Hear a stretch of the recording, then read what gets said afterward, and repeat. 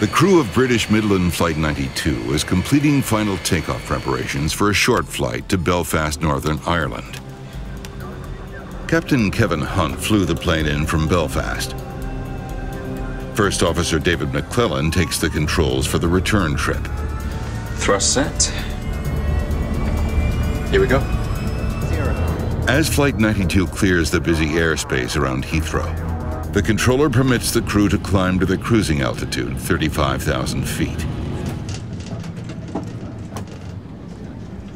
Can I have a coffee too, please? 13 minutes into the flight,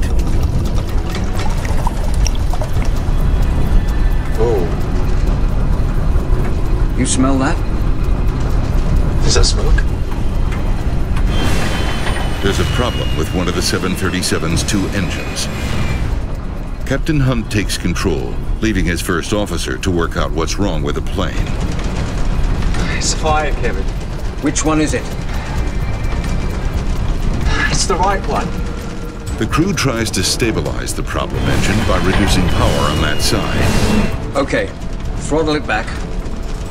Throttle it back.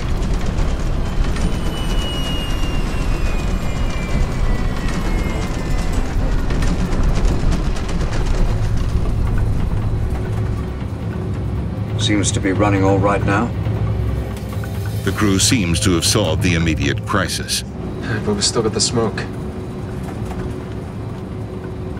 but want to get back on the ground as fast as possible. Uh, this is Midland 92. Uh, we've got an engine fire. We need to divert to East Midlands. Understood. Cleared for descent to 10,000 feet. Flight 92 is just 15 minutes from East Midlands Airport. It's closer than returning to Heathrow.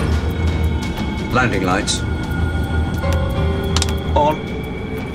The pilots will have to make the landing with just one engine. Flaps one, please. To land safely at low speed, Flaps one. the pilots need to set their flaps to increase lift Power, please. and call for more power from their one remaining engine.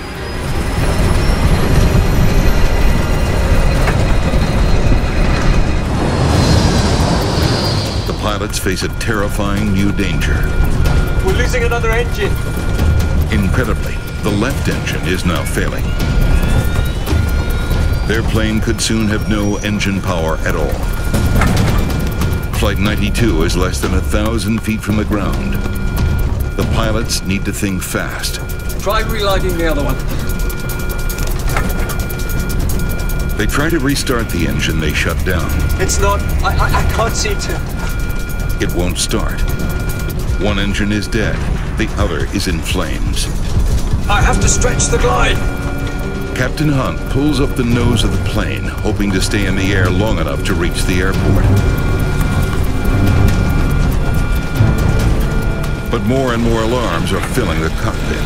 Damn it! The stall warning shakes the captain's controls. A deadly sign that they're about to lose their lift.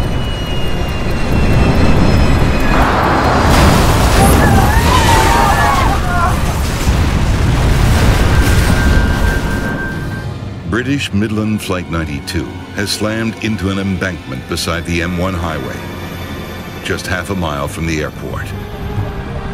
87 of the 126 people on board are alive, but many are injured, including Captain Hunt, who has a broken spine.